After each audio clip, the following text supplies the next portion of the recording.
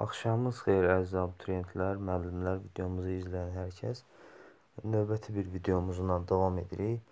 Bu tip videolarımızı yəqin ki, kanalımızda görmüsünüz. 4-5 bilmirəm, bu arada videolar, yəni sınaq izahları var kanalda. Bundan sonra da inşallah daha davamlı olacaq.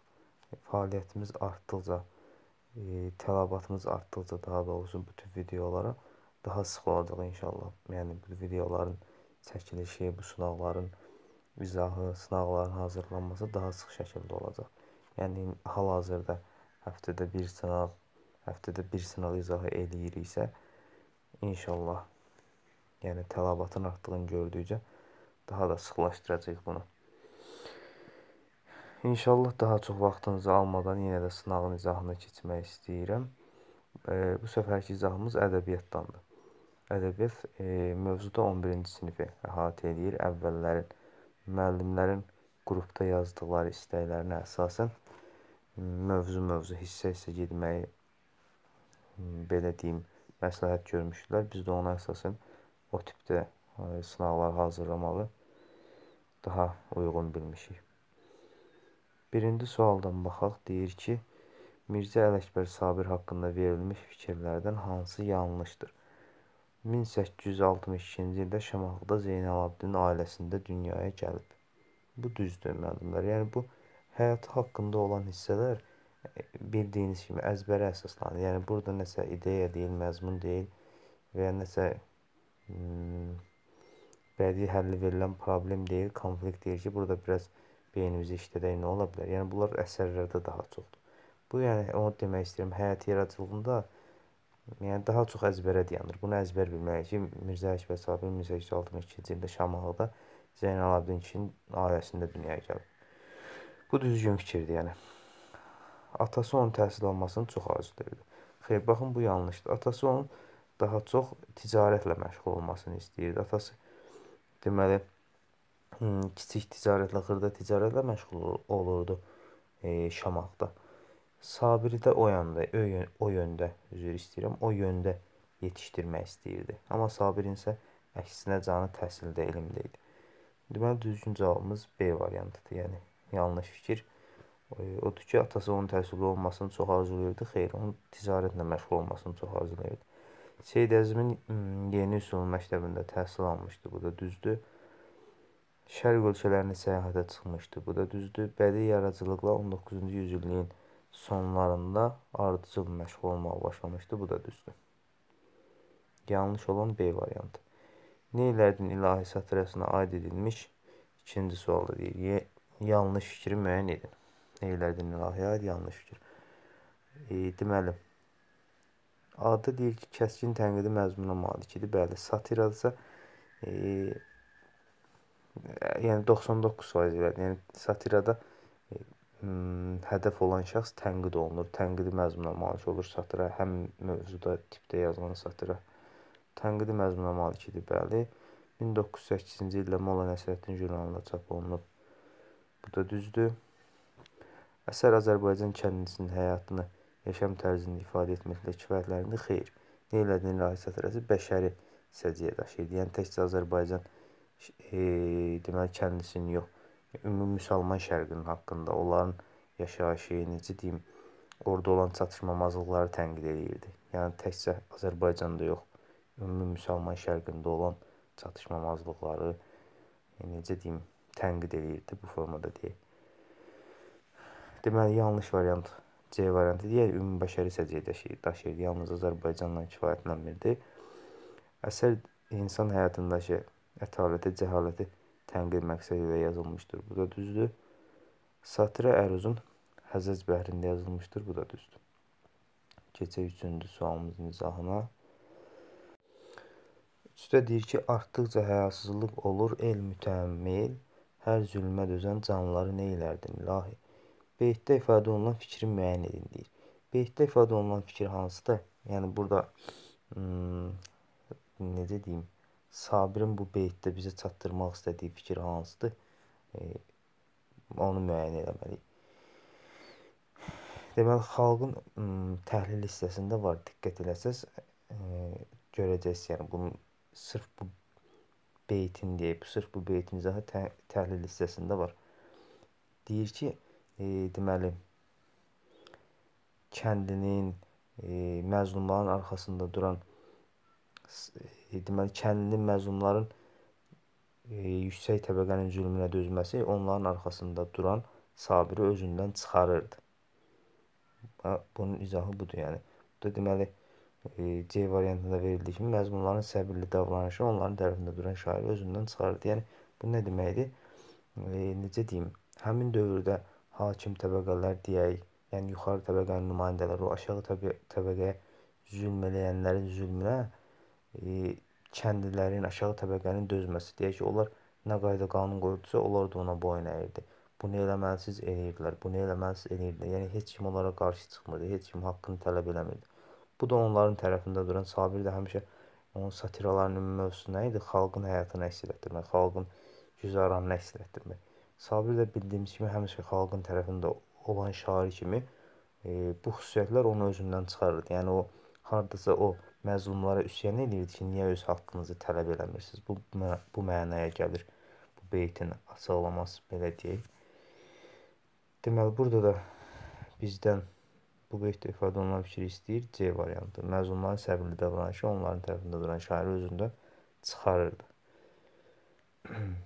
4-də deyir ki, qeyrətli donaspazlarımız iş bacarırkən tənbəl dəli şeytanları neylərdin ilahi?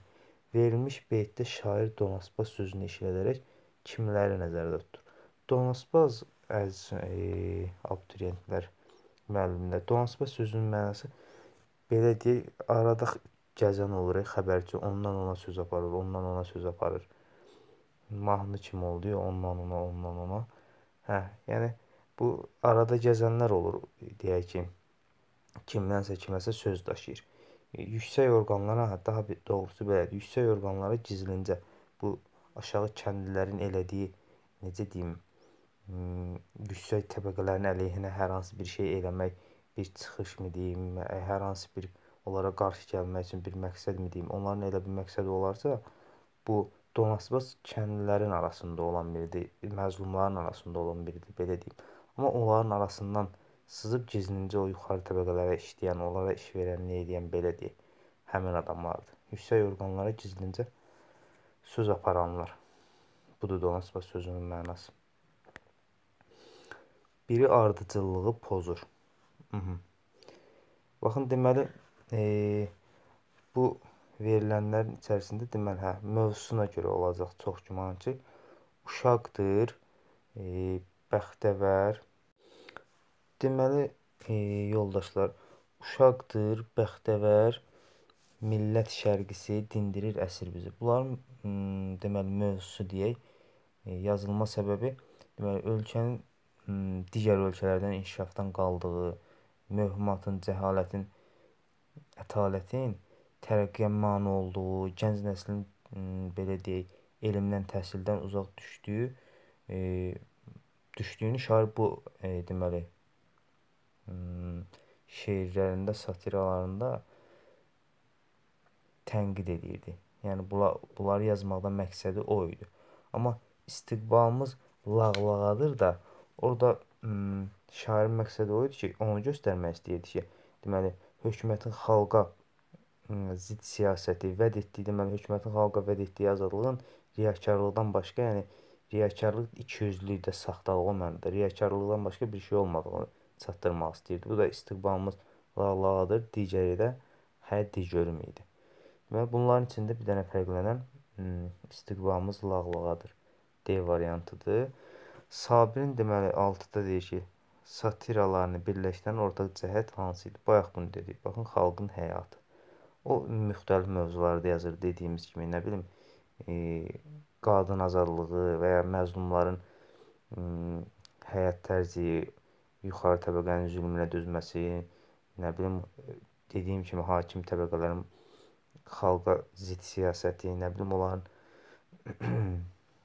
vəd elədiyi azadlığın riyakarlıqdan başqa bir şey olmaması və bu kimi müxtəlif şeylər. Amma onların hamısında Sabirin necə deyim, bir dənə məqsədi var idi, xalqın həyatını əks etdirmək.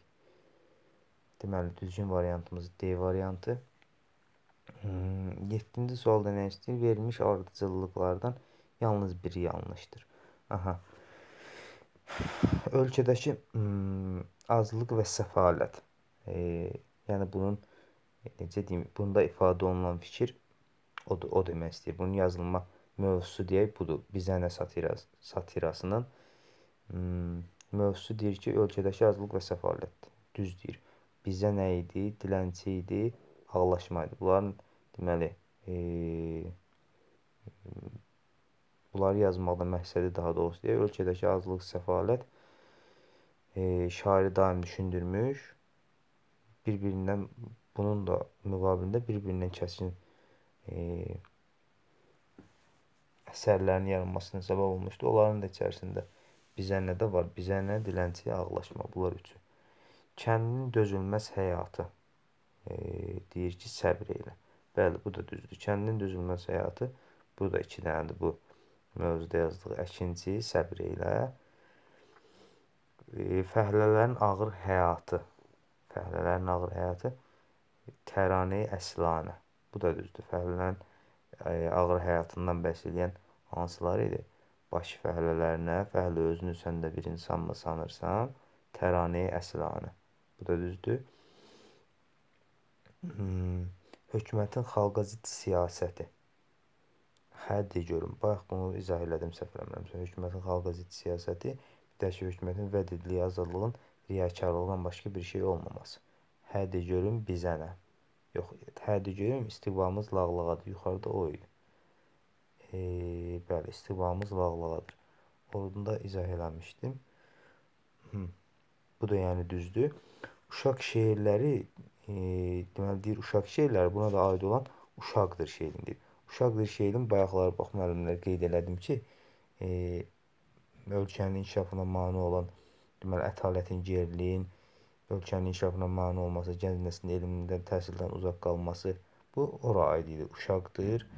E, deməli, dindirir əsir bizi, millət şərqisi, oxutmuram, əl çəkin bəxtəvər. Bunlar hamısı e, həmin mövzuya aiddir. Uşaq şeirlərinə e, deməli, hansılara aid? Uşaq və buz, e, məktəb şagirdlərinə töhfə, bir də ki, yaz günləri. Uşaq şeirlərini bu ım, kitabda verilən daha doğrusu bulardır bizə lazım olan.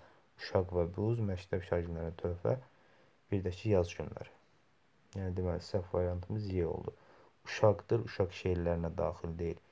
Deməli o ətalətin, geriliyin, mövhumatın inkişafa tərəqqiyə mane olması, gənc nəslin elmdən, təhsildən uzaq qalmasına bu mövzuya aid olan şeirlərdəndir. 8-ci sualda nə istəyir bizdən? Neylərdin ilahi satirasına aid deməli yanlış fikri müəyyən etmək istəyir bizdən. Aha. Deyir ki, şeirdə işlədilən orijinal epitet, təzad, mübaliğə və s. onun maraqla oxunmasına səbəb olmuşdu. Bəli. Yəni e, çox sıx işlənməsə də, bəli, epitet, təzad, mübaliğələrin işlənməsi əsərin necə deyim, daha bizə e, görünüşlü formada çatdırmasına, hər hansı bir əsərin daha görünüşlü formasında olmasına e, necə deyim, zəmin yaradır da bədii təsvir ifadə vasitələri. Bu da yəni o mənaya gəlir. Yəni daha maraqlı olunmasına, oxunmasına səbəb olur. E, görünüş yaxşı olanda, dilə xoş yatanda daha maraqlı oxuyur insan təbii ki, hər hansı bir əsəri. B-də deyir ki, qafiyələrin uğurlu seçimi şeirdə güclü ahəngin yaranmasına səbəb olmuşdur. Bu da düzdür, bəli. Şeirin bütün misralarında bədii sualdan istifadə olunub. Xeyr, bütün misralarında işlənməyib. E, bir dənə birinci misrasında daş qəlbli insanlar nə elərdin ilahi? Bizdə bu soyuq qanları nə elərdin ilahi? Baxın, yalnızca birinci misrasında. Daha doğrusu, ya, yəni yalnız birinci beytdə e, işlənməyib dedim səhv eləmirəmsə, elə yox. Yalnız birinci beytin e, hər iki misrasında bədii sualdan istifadə olunub. Yəni daş qəlbli insanlar nə elərdin ilahi? Bizdə bu soyuq qanları nə elərdin ilahi? Bu e, deməli beytin hər iki misrasında bədii sualdan istifadə olunub, amma növbəti misralara baxaq. Artdıqca həyasızlıq olur, el mütəmmil. Burada bədii sual yoxdur, amma ikinci misrasında var.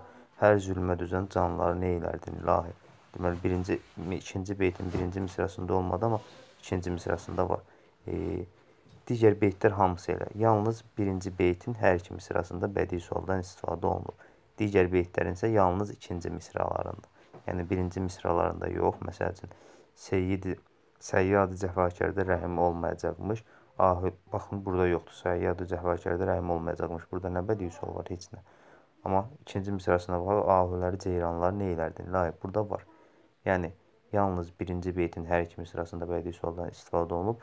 Qalan beytlərin isə yalnız ikinci misrasında bədii sualdan istifadə olunub. Deməli, düzgün variant, e, daha doğrusu yanlış variantımız e, C variantı oldu. Şeirin bütün misralarında bədii sualdan istifadə olunmuyor. Satira öz məzmununa uyğun bəhirdə Ərzün Həzəc bəhrində yazılmışdır. Bu da düzdür. Satirada milli bəşəri bəlalar, bəlaların qovuşmuş şəkildə təqdimi müas şairin ədalətli mövqeyinin ifadəsi idi. Bəli, bu da düzgün fikirdir. 9-cu suala baxaq. Hüseyn Cavidə aid fikirlərdən yanlış olanı seçin. Deməli 1882-ci ildə Naxçıvandan anadan olub. Bəli, bu düzgündür. 1898-1903-cü illərdə hmm, Talibiyyə məktəbində təhsil almışdı. Bu da düzdür. Bəli, Cənubi Azərbaycanda Təbrizdəki Talibiyyə məktəbində e, təhsilini davam elətdirib 1898-1903-cü illərdə. E, C-də deyir ki, 1911-ci ildən etibarən ədəbi pedaqoji fəaliyyətini Tiflisdə davam etdirmişdir. Bəli, 1911-ci ildən etibarən Tiflisdə davam etdirir və burada da e, ilk kitabını, Keçmiş Günlər adlı ilk şeir kitabını yazır 1913-cü ildə.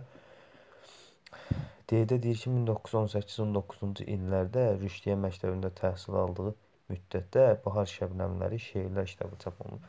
Bu baxın, e, dəyərli dinləyənlər belə müraciət edeyim. Bilmədim necə müraciət edeyim, birdən oldu.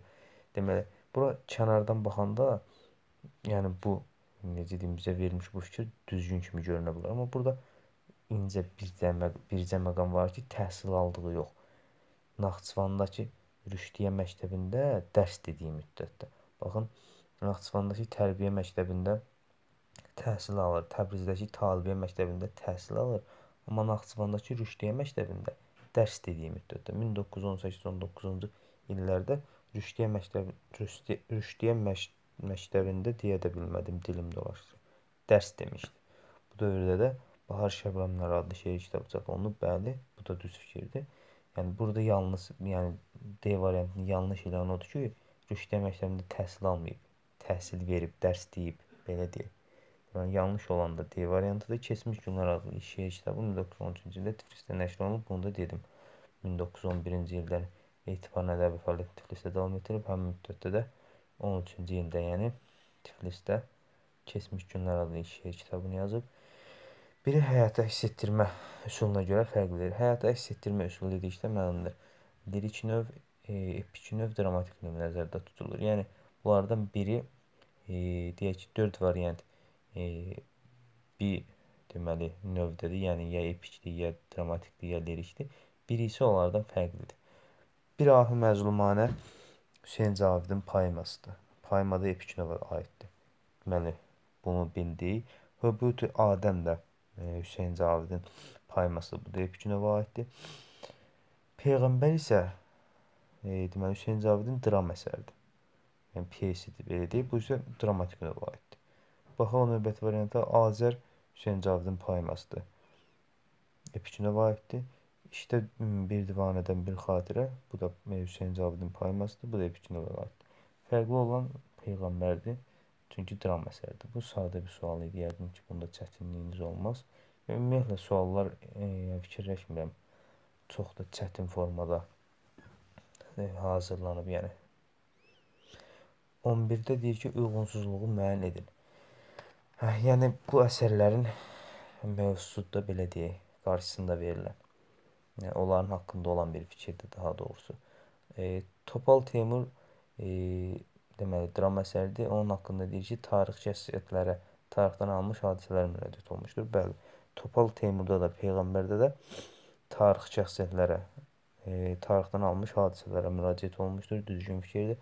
Qız məktəbində şeiri təkcə ədəbin yaradıcılığında deyil, ümumən poeziyamızda sujetli lirikanın mükəmməl nümunələrindəndir. Bəli, bu da düzgün fikirdir.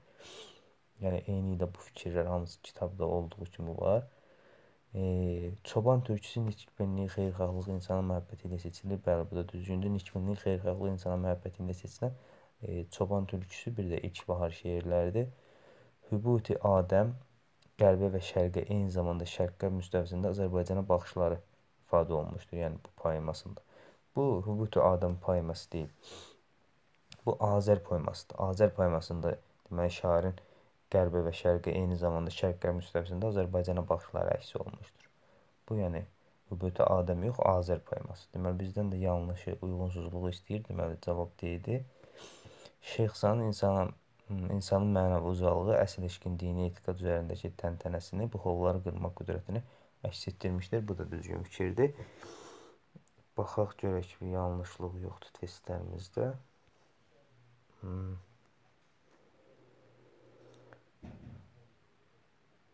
Bəli, 11, 11-i də düzdür müəllimlər və abituriyentlər. İnşallah uğurlar hər birinizə.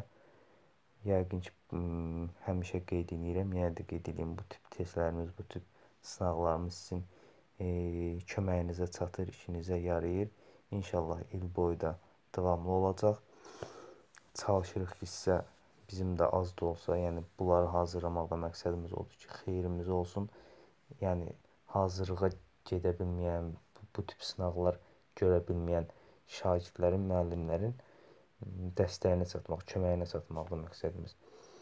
İnşallah siz də qarşılığında e, videolarımızı bəyənməyi, e, nəsə fikriniz olarsa şərh hissəsində yazmağı, abunə olmağı kanala, mümkünsə paylaşmağı bizə çox görməsiniz. E, qarşılığında biraz çox şey istədim, düzdür.